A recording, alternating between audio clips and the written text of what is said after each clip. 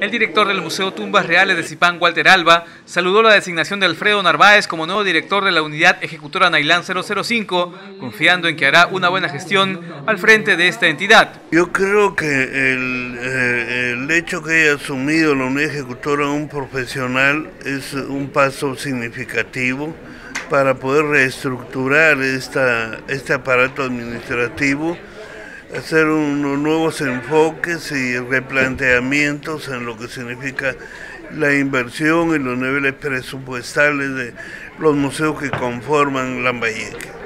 Alba Alba recalcó que siempre espera que los directores de museos locales recuerden que la principal labor de sus instituciones es la de investigar, justamente con la elección del señor Narváez en, la Unión Ejecutora, aspectos como la investigación podrían ser apuntalados dentro de...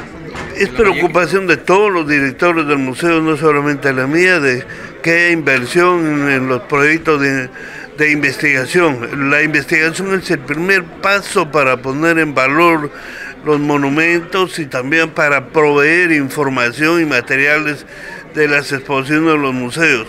Un museo que no investiga, que no difunde, que no promueve, no es un museo. Es un lugar donde se guardan objetos antiguos. Entonces los museos tienen que ser instituciones dinámicas. Esperamos pues que en esta, eh, con el manejo que tenemos ahora de un consejo de museos, esto se, eh, las inversiones y la orientación de la unidad ejecutora como ente administrativo de los museos pueda eh, rendir sus frutos.